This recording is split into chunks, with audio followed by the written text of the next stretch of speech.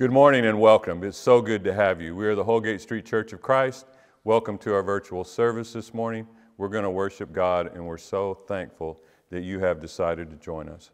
The call to worship this morning will be from Psalms 96, the first four verses. And it reads Oh, sing to the Lord a new song. Sing to the Lord all the earth.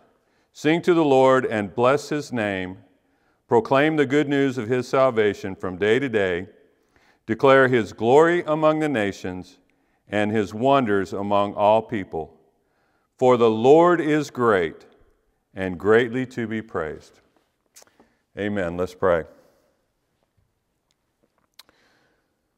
Father, there is no God but you. You are our Lord, you are our Savior. You alone are worthy of all praise. You alone are worthy of our worship. All other gods are idols, but you are our Father. Bless our time together. In the name of Christ we pray. Amen.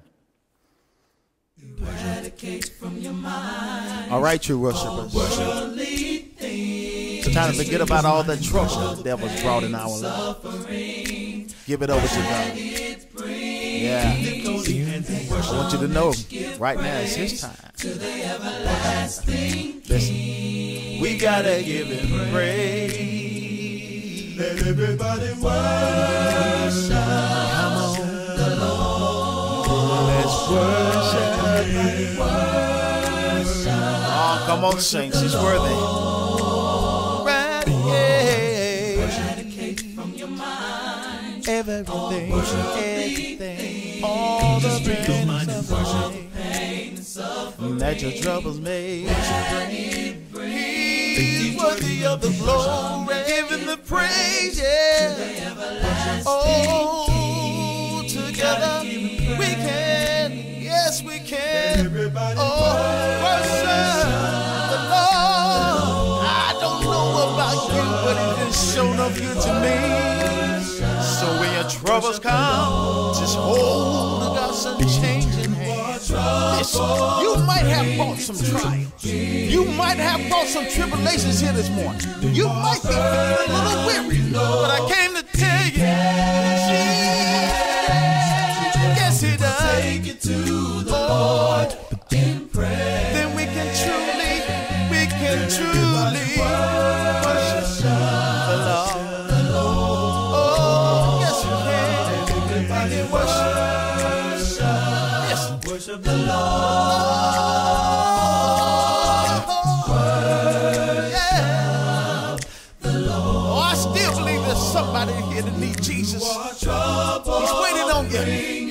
his hands outstretched. Come on to him this morning. Oh, it's time to worship. Come on, let's worship him. It's okay. Oh, praise God for your sister. Praise God for your brother. That's it.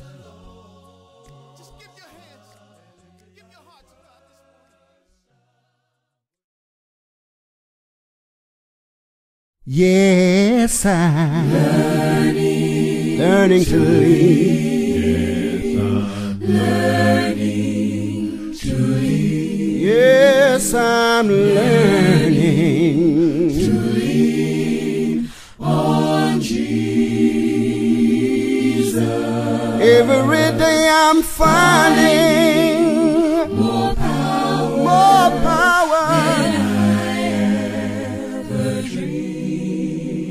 I'm learning, learning to lean on, Jesus. Yes, I'm learning, learning to lean. Yes, I'm learning to lean. Every day I'm learning to lean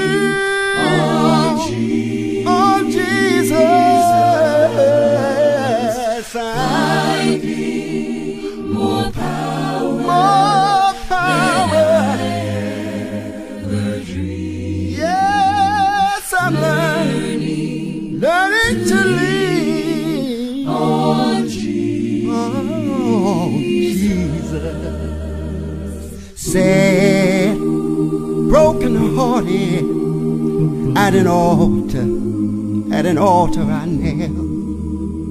I found peace, so serene, and all, all that He asks us is a child, a childlike trust, and a heart, a heart that's pure, pure, pure and clean. Yes, I every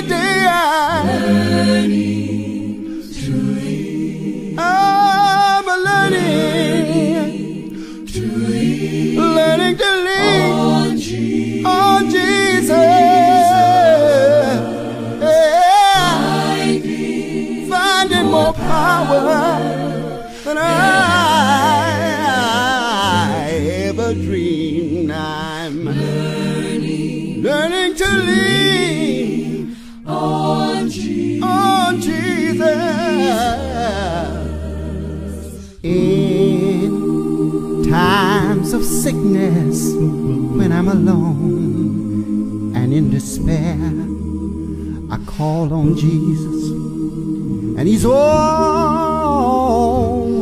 there. Oh, yes, He is. You know He'll never leave me. He won't forsake me. He'll be there. He'll be there. He'll be there He'll be there. Anytime.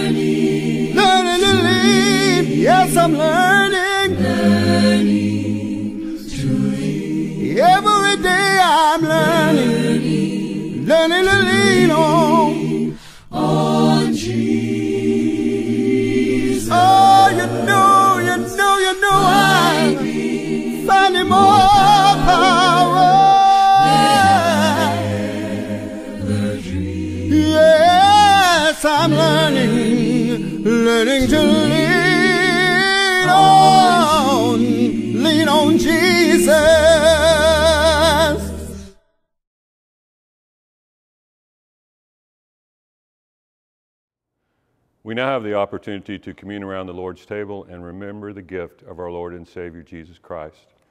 I would like to read from John, the third chapter, beginning in the 16th verse. And it reads For God so loved the world that he gave his only begotten Son, that whoever believes in him should not perish, but have everlasting life. For God did not send his Son into the world to condemn the world, but that the world through him might be saved. Let's pray.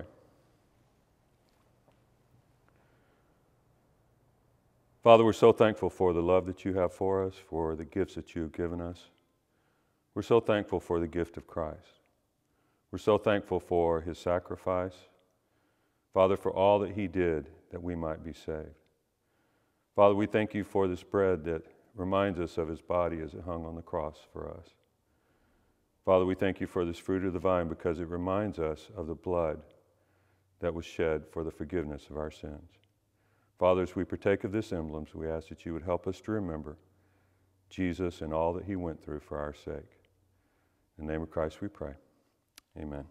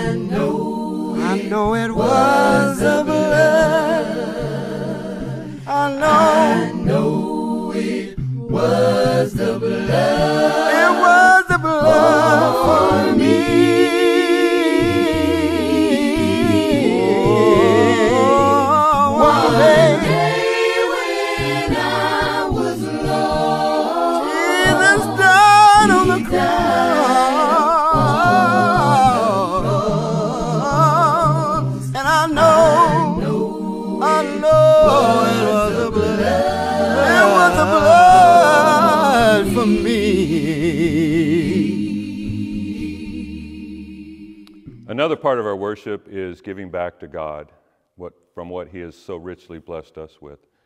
I would like to read a few verses from 2 Corinthians, the ninth chapter, beginning in the sixth verse. And it reads But I say this He who sows sparingly will also reap sparingly, and he who sows bountifully will also reap bountifully. So let each one give as he has purposed in his heart, not grudgingly or of necessity, for God loves a cheerful giver. And God is able to make all grace abound toward you, that you, always having all sufficiency in all things, may have an abundance for every good work. Let's pray. Father, we're so thankful for the many blessings that you've given to us, have entrusted us with. Father, we want to be the kind of givers that you would have us to be. We want to be cheerful givers. Father, we ask that you bless us and that you would help us as we work on our giving. Father, we ask that you bless the offering this morning, that you would bless our use of it. Father, we thank you so much for all that you have done for us, and we want to be the kind of giver that you are. In the name of Christ we pray. Amen. There are three ways that you can give this morning. The first way is through our website. You can go to holgatecfc.com, hit the donate tab, and enter your information there. The second way is through the Zelle app, where you can go to treasurer at holgatecfc.com and you can make your offering there. The third way is a P.O. box where you can mail your check to Holgate Street Church of Christ, Box 18226, Seattle, Washington 98118. Thank you, and may God continue to bless you.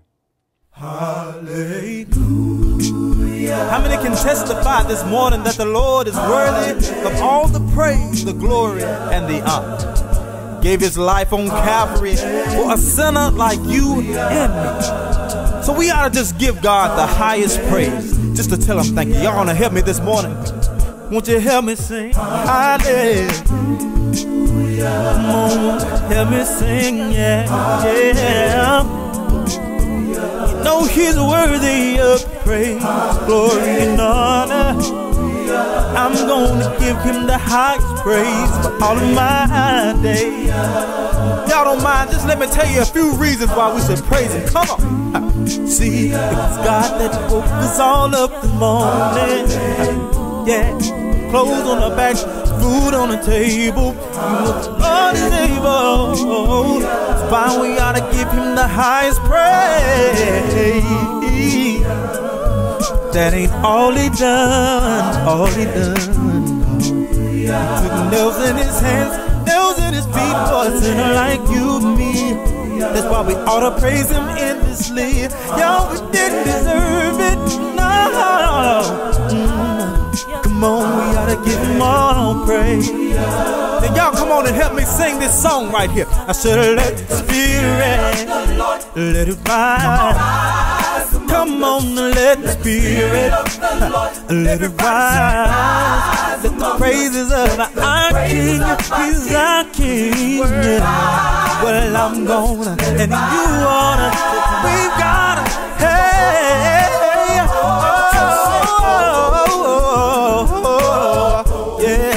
I'm gonna let it rise.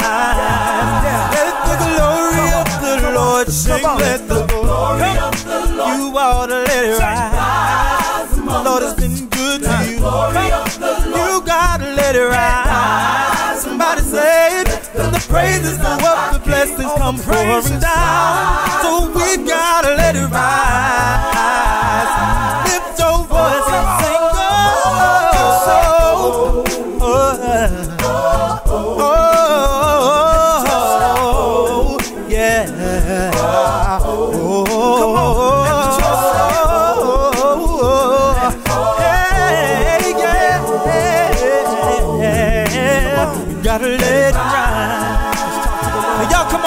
Sing this song right here. Come on. Tell 'em. I said, Lord, the people praise you. Say, Lord, the people praise you. You know we lift you up and raise you, Lord. You up hey, Lord, you are the Holy One. Yes, you are, Lord. You're the one. You're the only one. You're the one. You're Come on. the only one. I said, Lord, the people love you. Yeah. And we place nobody above you, Lord. Lord, because you are the Holy One. Hey, Lord, said you're the one, you're the only one. Come on, everybody sing hallelujah, hallelujah. hallelujah. All the glory is due you, Lord. All the glory is due Oh, Lord, you are the Holy Hey, oh, you're the one, you're the only one. You're the one, you're the only one. I said if I had 10,000 tongues, if I had 10,000 tongues, I would bless you with everyone. I would bless oh, you with oh, everyone.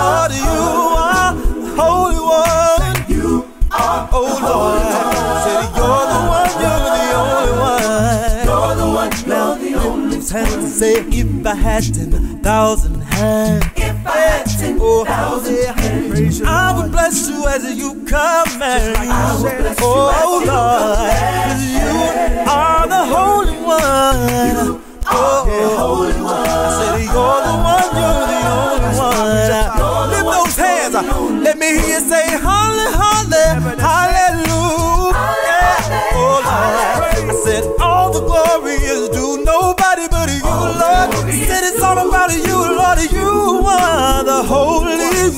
One, yeah.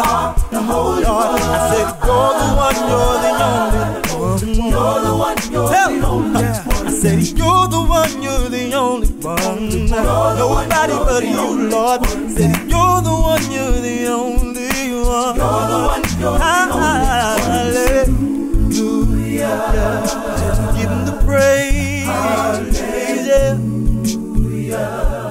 You're worthy, Lord, forever and ever. Up holy hands and give you praise. See, we want you to know. Words can't express how we feel deep inside.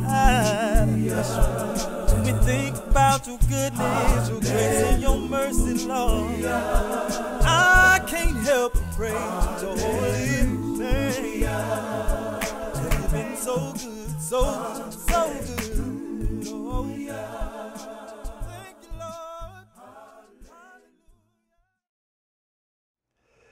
Good morning. Thank you so much for joining us again for this online uh, worship time. And uh, as we uh, now approach the time in which uh, we share a message from God's Word, I want to thank those of you that have been with us uh, throughout this entire year and those of you that have shared this uh, broadcast with others. Um, I want to um, thank you for that. And we look forward to the coming year where we are still going to remain online, even though we are worshiping in person.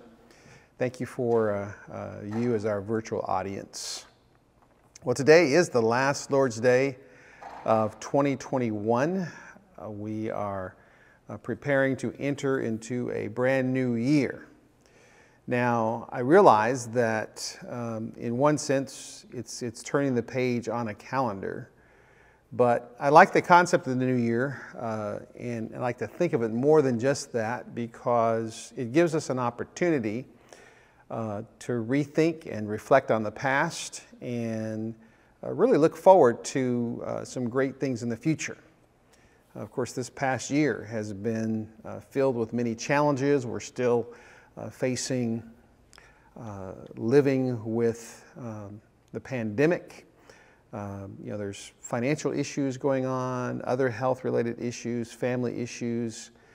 It's called life.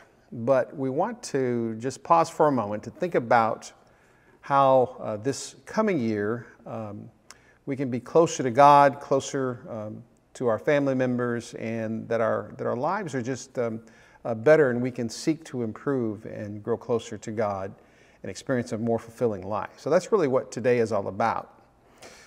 And so, what I want to do is, I want to uh, talk about uh, this story that's found in the first chapter of the book of Joshua. Here we find uh, God is speaking uh, to Joshua, and the people of God are uh, preparing to enter into the promised land. And so I want to read that text, Joshua 1, uh, verses uh, 1 through 9. And then I want to uh, guide your thoughts and, and hopefully say some things that, that, are going to be encouraging and inspiring to you. So, Joshua chapter 1, uh, beginning at verse 1. The Bible says that after the death of Moses, the servant of the Lord, the Lord said to Joshua, the son of Nun, Moses' aide, Moses, my servant, is dead. Now then, you and all of these people get ready to cross the Jordan River into the land that I'm about to give them, to the Israelites. He says, I will give you every place where you set your foot, as I promised Moses. Your territory will extend from the desert to Lebanon, and from the great river, the Euphrates, all the Hittite country to the Mediterranean Sea in the west.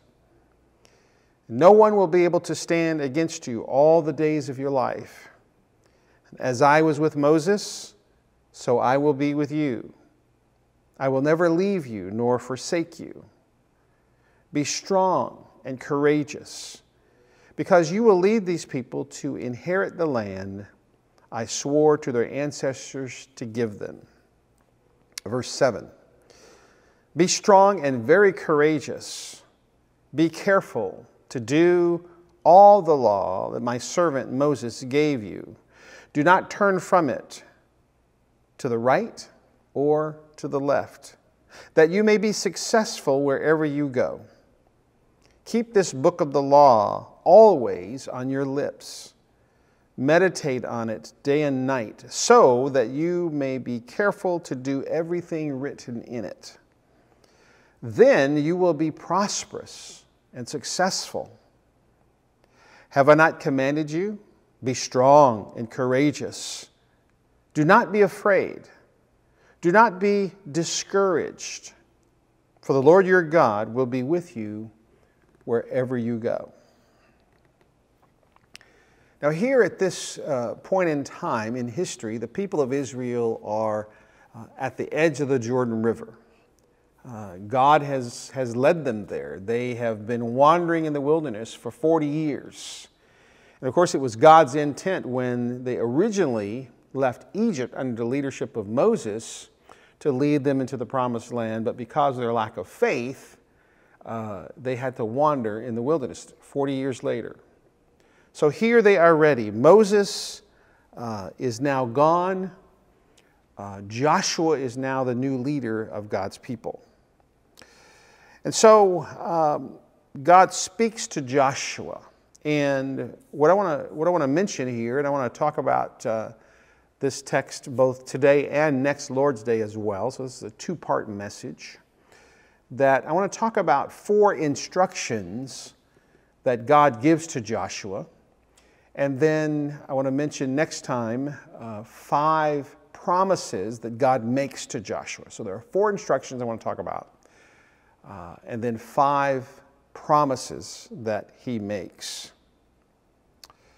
Now, uh, before we discuss these four instructions today, what I want us to do is to talk about our personal transition when it comes to this new year. Uh, again, uh, is the final day of 2021.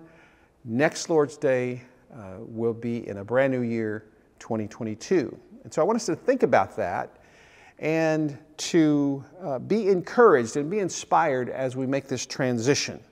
Now, in one sense, we're, we're like Israel. Israel was, was leaving some things behind.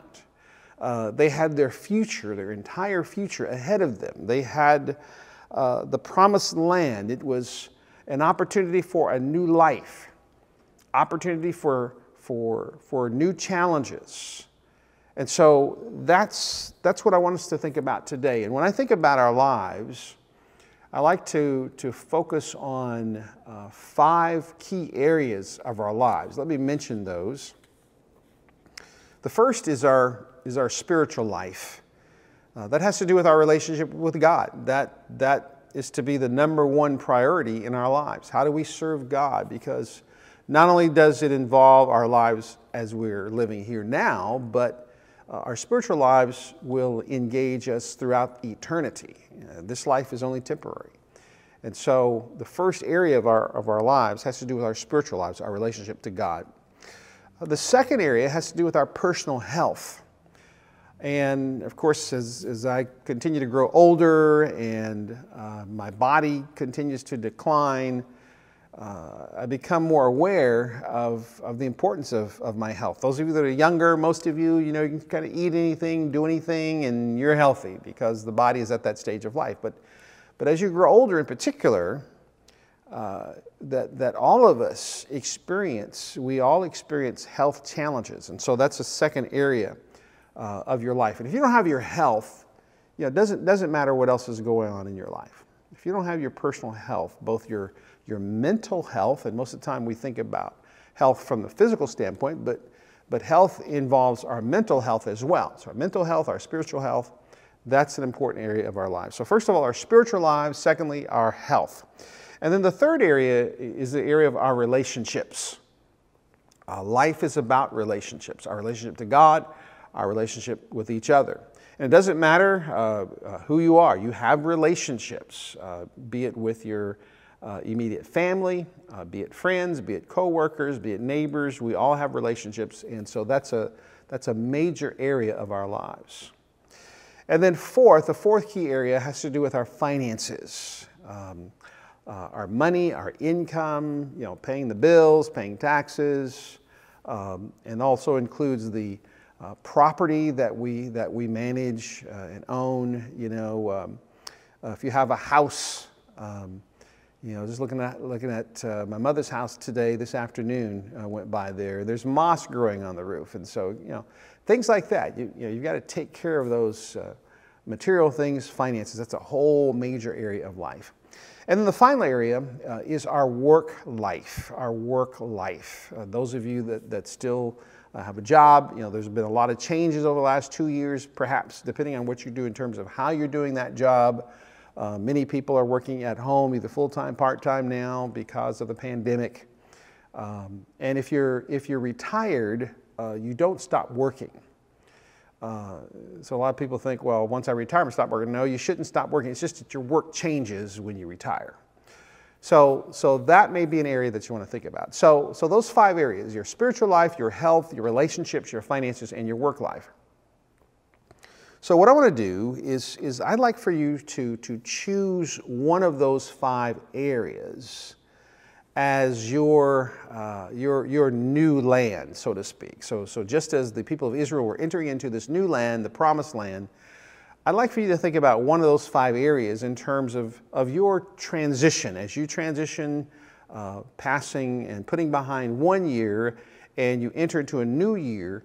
I want you to think about one of these areas. Um, uh, because what I want to do is to I want to look at these instructions and these promises that God gives to Joshua, and we're going to apply some of the principles there in terms of that land. So the, so the first thing I want you to do is to, to identify one of these five areas your spiritual life, uh, your health, your relationships, your finances, or your work life. I, I want to, to, to focus on this one. And of course, some of you may think, well, I want to I wanna, I wanna think about all of them. That's okay, uh, but let's at least start with one. So I want you to think about your life in the coming year within the context of that one area. So, so choose now, and then we'll, we'll continue with this message.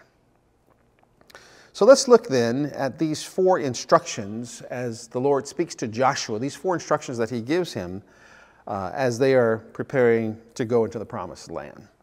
So, first of all, uh, God tells Joshua uh, to get ready.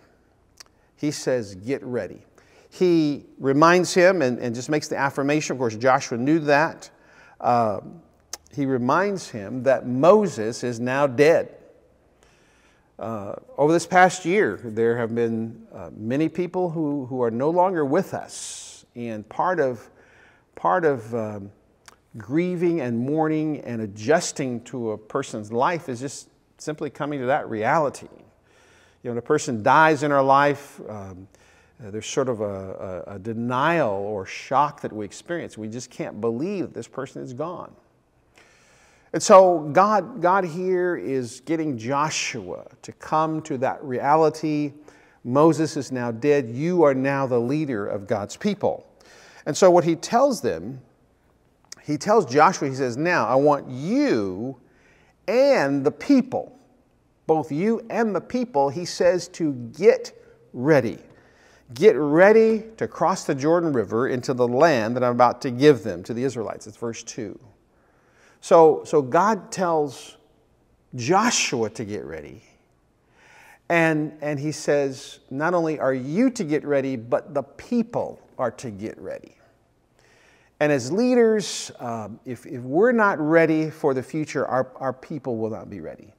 We have to lead by example. We have to lead by faith and, and in faith and through faith and having confidence. And we have to lead through love, that we get ready and in love, the people that we're leading, that we love them and we want the best for them, then we're in a position to lead. So, so God tells Joshua, you need to get ready. I'm, I'm going to I'm gonna lead the people into the promised land.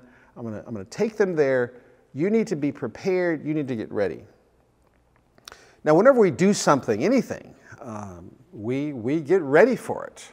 Uh, we just spent uh, the last three weeks uh, studying and discussing uh, the one journey that all of us will take for which we need to prepare, and that's the journey of death. And so we talked about uh, the fact that, that we need to get ready for that, both in terms of, of, of our own lives, but also in, uh, for the benefit of those we leave behind, our family and friends. And so we talked about getting ready, getting prepared, you know, some things we need to do as we anticipate going through this journey. And so God tells Joshua, you need to get ready, the people need to get ready. The second thing that uh, uh, God tells Joshua in terms of instructions, and again, we could combine these, uh, we could number them any various ways, but he tells Joshua to be strong and courageous. Be strong and courageous. In verse 6, God says, Be strong and courageous because you will lead these people to inherit the land that I swear to their ancestors to give. Verse 7 says, Be strong and very courageous. Be careful to obey all the law my servant gave you. Do not turn uh, to, uh, from it to the right or to the left, that you may be successful wherever you go. Verse 9 Have I not commanded you, be strong and courageous? Do not be afraid, do not be discouraged, for the Lord your God will be with you wherever you go. So here we have uh, three times, three times that God is telling Joshua, you need to be strong, you need to be courageous. Now, this idea of being strong, uh, we think of, uh, of course, of physical strength. And, and of course, Joshua uh, was a warrior, he was a, a, military leader. But, but not only that, I think here uh, it's, it's speaking probably more of emotional strength. That when we are making transitions, when we are pursuing goals, when we are uh, uh, imagining the future, that takes emotional strength. And so God tells him to, to be strong. It means that you need to be uh, strong enough and, and willing to break through barriers. Because anytime you set a goal, anytime you're, you're, you're trying to progress in an area, there's going to be some obstacles, there's going to be some barriers there. And so you need the strength to break through those barriers. In addition, the idea of, of, of being strong means that you're convicted. Uh, a lot of times we set a goal, and again, related to the fact that, that we get tired, and, and strength also relates to being able to endure. Um, uh, a lot of times we get tired, we get discouraged, and so we have to have a conviction and a firmness that's going to carry us through to whatever the goal is. And so, this idea of strength has to do again with the emotional strength. Uh, having the ability to prevail. Any, any, you know, you watch, you watch athletes in particular, athletes who, who, who are running a race or who are playing a game. Um, you see that they have not only this physical strength to perform the task, but they have the mental strength to endure. Uh, I think of marathon runners, um, you know, who, who run the 26 or so miles, and that's a mental task. Not only are they preparing themselves when they train physically, but, but they have to prepare themselves mentally. And so when it comes to going into this promised land, as God is telling Joshua, that you need to be prepared mentally, you need to be strong so that you can prevail. And then I think related to this as well is uh, for Joshua in particular as a leader, uh, there's going to be this, this heavy burden on his shoulders. It's part of the burden of leadership. Because if you remember, Joshua has been with the people for this 40 years, and he has observed Moses and the weight that Moses bore as a leader uh, to the people of Israel. And Israel was, was not an easy group to lead. Why? Because even though God blessed them, God guided them, God protected them, uh, they complained, uh, they lost faith, uh, they wanted to go back to Egypt. And so this was a difficult and challenging group to lead. And so uh, uh, Joshua was going to need strength and courage because of the heavy burden that he was going to bear in terms of leading the people. And then we need strength and we need courage to fight through discouragement. Uh, anytime you set a goal, there's going to be feelings of discouragement, feeling, feeling like, you know, um, like I'm wanting, wanting to give up, throw in the towel, uh, quit. And so we all need strength in order to continue to progress in that sense. So, so God tells Joshua two things. He says, he says, you get ready. I'm going to I'm going to lead you to this land. You need to be prepared. You need to be ready for that. Secondly, he says you need to be strong and courageous. Also, related to this, uh, the third instruction that God gives to Joshua, he says, Do not be afraid. Do not be afraid. In verse 9, God says, Have I not commanded you to be strong and courageous? He says, Do not be afraid. Now, what is it that, that Joshua had to be afraid of? Well, uh, if you recall, uh, first of all, there were people in that land. That land was not empty, it was occupied. And Joshua had been there when the people were previously paralyzed by their fear, which then led them to wander in the wilderness for 40 years. Let me remind you of that story. It's recorded in Numbers chapter 13. And when the people come out of Egypt under Moses' leadership, God instructs Moses to select 12 men, one from each of the 12 tribes of Israel. He said to, to uh, select 12 men, and uh, he said to send them into the land of Canaan to explore it. This is found, in, again, in the book of Numbers, chapter 13. Now, God had said, I'm, I'm already given you this land. And so it's sort of like if, if we're going to move to a new area. Uh, typically, uh, you know, if you're married and you have kids, typically, you know, the father will go fly to the area and, you know, find out what it's like. Check out the neighborhoods, uh, check out the school systems the kids are in school, you know, the parks and, you know, how far from downtown are you and, and the stores and so forth uh, whenever you're moving to a new area, you go and check it out. So in this instance, God told Moses to, to choose 12 men to go into the area to check it out because I'm giving it to them. And so that's what Moses did. And so the, um, uh, the 12 men went into that land and they stayed there for 40 days, 40 days uh, worth of surveillance. And they came back and returned and gave a report to both Moses, Aaron, uh, and then all the people as well. And uh, here's what the Bible says. Let me pick up the reading in verse 26. This is Numbers 13, 26. It says, They came back to Moses and Aaron and the whole Israelite community at Kadesh in the desert of Paran. And there they reported to them, to the whole assembly, and showed them the fruit of the land. Uh, it was harvest time. They even brought back a, you know, a huge cluster of grapes to show how fruitful the land was.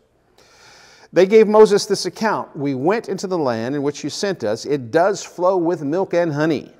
And here's the fruit. Verse 28 is where things change. They say, But the people who live there, again, the land is occupied, the people who live there, they said, they're powerful. And the cities are fortified and they're very large. And we even saw descendants of Anak there. And uh, uh, it, then, then, then Caleb uh, it says that he silenced the people before Moses because there was a murmuring among the people. And you can see that the, the spies were giving this positive report, but, but then the report changes to a negative report. And of course, Caleb, who's one of the, one of the two men that, uh, uh, that went there, it says that he silenced the people. And he said, We should go up and take possession of the land, for we certainly can do it. We can do it. But the men who had gone up with him says, "We can't. We can't. We can't attack those people. They're stronger than we are." And so the Bible says they spread a bad report among Israel about this. Well, the, the, the story continues in the next chapter, in, in chapter 14. And the Bible says that that night, all the members of the community, they raised their voices and they wept aloud. And all of the Israelites grumbled against Moses and against Aaron. And here's what the whole assembly said They said, If we had died in Egypt, if we had only died in Egypt, or even in this wilderness, they say, Why is the Lord bringing us to this land only to fall by the sword? They say, Our wives and our children will be taken as plunder. Wouldn't it be better for us to go back to Egypt? And then they said, Let's choose a leader and go back to Egypt. Now, uh, we, we kind of think, wow, um, that's pretty, pretty bad, pretty bad, because you just come out of Egypt, out of this oppressive bondage under Pharaoh. God leads you miraculously through the leadership of Moses, through God's power, and then you're saying, let's go back there. So Moses uh, is very frustrated at this point. And the Bible says that, uh, uh, that he falls, he and Aaron fall face down, that uh, uh, Joshua is very frustrated. He tears his clothes. Joshua is one of the two that go as well. And here's, here's what was said to the people. He said, The land that we passed through is, and explored is exceedingly good.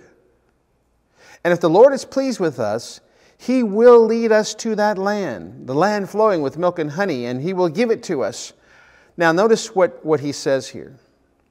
He says, verse 9, He says, Only do not rebel against the Lord and do not be afraid of the people of the land. He says, We can devour them. Their protection is gone, but the Lord is with us. Do not be afraid of them. So, so here we see then, it's almost like a replay. Here, God, God, when they came out of Egypt, He was willing to lead them to the promised land, but because of the fear of the people, they did not go in at that time. And so here now, 40 years later, edge of the Jordan River, ready to enter the promised land, Joshua remembers the fear. And so God says, Do not be afraid. So here we have then uh, uh, three of these promises. God tells Joshua to get ready. He tells him to be strong and courageous. Thirdly, he tells him to, to not be afraid. And then, fourth and finally, uh, God tells Joshua to obey his word, to obey his word. Here we see um, uh, the word of God, and he tells him uh, here, if you look in, um, going back to Joshua chapter 1, if you look in verse 8, um, uh, the Bible says, Keep this book of the law always on your lips, meditate it on it day and night, so that you may be careful to do everything that is written in it. God says you need to obey my word. You need to keep it on your lips. That is, you need to read it, and that could be recited. You need to meditate on it. It needs to be on your mind and on your heart at all times. So that what? So that you can obey it. And he says, when you do that, you will succeed, you will be prosperous, you will be blessed. And so here we find then these, um, these four instructions. So, so this morning, I, I want you to do just one thing. I want you to to think about this transition of, uh, of the years and entering into a new year as being entering into a new area of your life. One of these five areas, be it your spiritual life, your health, your, your relationships, your finances, or your work life. I want you to choose one area to focus on. And what we'll do is we'll relate these instructions, these things that God had told, told Joshua to, uh, to get ready, to uh, be strong and courageous, to not be afraid, to obey the Word of God. We'll see how those will apply uh, to that decision. So we'll continue this uh, next Lord's Day. Let's pray. Thank you, Father, for uh, your Word, and we thank you for these stories of Joshua and Moses and the people of Israel that we can uh, better understand you and, and your presence in, in, our lives and your power that you exercise and the hopes uh, that you have and, and, the great future that you have. And we pray that we can make some decisions uh, uh, this week and next week that will carry us throughout this new year. We thank you for opening that door for us. We pray through Christ our Lord. Amen.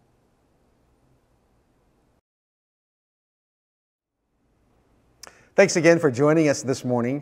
I want to remind you that uh, as we do every Lord's Day at 12:15, we have our kids talk.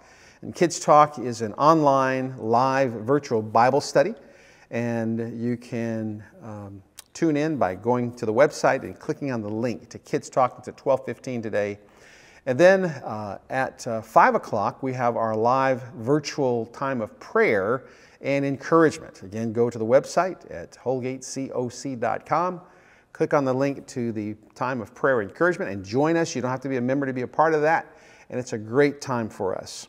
And then, of course, if you are in our area, uh, in the Seattle area, we are meeting in person at 2600 South Holgate Street. We'd like to invite you to come and worship with us. We meet at 10 o'clock. We're usually done by around 11:15 or so. And if you have questions uh, about our ministry, about the gospel of Christ, you're interested in becoming a Christian, being baptized, or if you desire a personal Bible study, we'll make that available to you. Please uh, uh, write us and email us at contact us at holgatecoc.com. Thank you and have a great week.